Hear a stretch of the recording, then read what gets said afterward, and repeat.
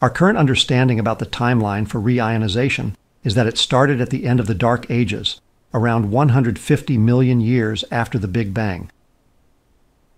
At that time, extremely strong ultraviolet radiation was produced, with enough intensity to drive the electrons out of their orbits around protons across vast volumes of space.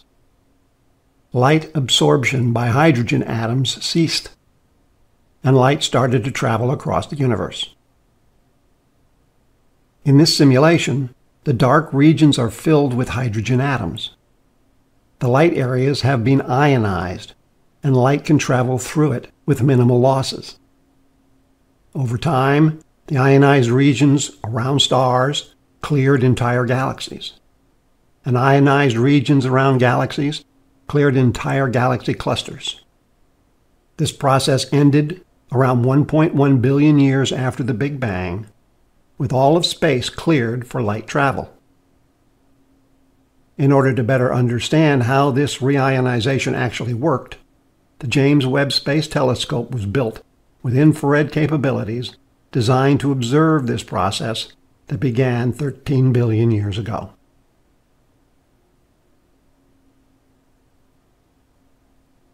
Here's an image taken by Webb in 2023. There are more than 20,000 galaxies in this field. The hyperluminous quasar J0100 plus 2802 is at the center. It is one of the most luminous quasars known. Its supermassive black hole is 10 billion times more massive than our Sun. Its redshift is 6.327. That gives us the distance the light traveled to reach us at 12.8 billion light years.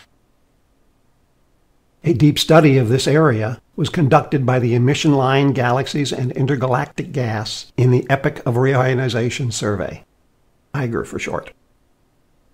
The survey used Webb's two near-infrared camera modules, each with a 2.2 by 2.2 arcsecond field of view. Here's their exposure map around the quasar. The study covered 117 galaxies within 650,000 light years of the quasar. Some are closer to us than the quasar, and some are further away. All these galaxies existed near the end of the era of reionization.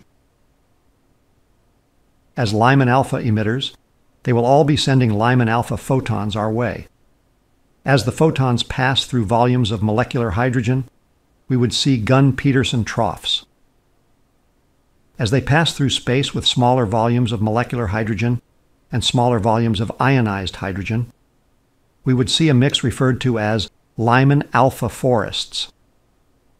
As they pass through large volumes of ionized hydrogen, we'd see normal emission lines.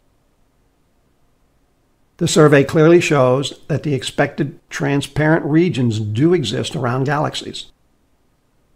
The results showed that galaxies near the quasar had fully ionized the gas within a 2 million light year radius. That's approximately the same distance as the space between the Milky Way and Andromeda.